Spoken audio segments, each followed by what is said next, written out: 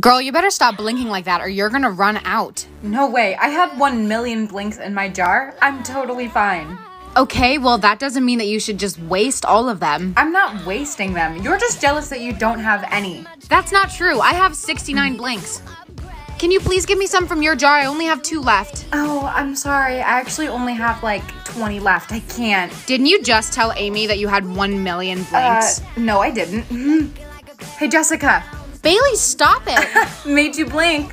That's not funny. Not all of us have like infinite blinks. Whatever. I thought it was funny. Why can I not blink anymore? but I had a million this morning. How does that even happen? Huh, I guess you shouldn't have wasted them like I told you. Don't you dare make fun of me right now. I'm struggling for my life. Attention, however many blinks you have left in the jar will be permanent in an hour. No!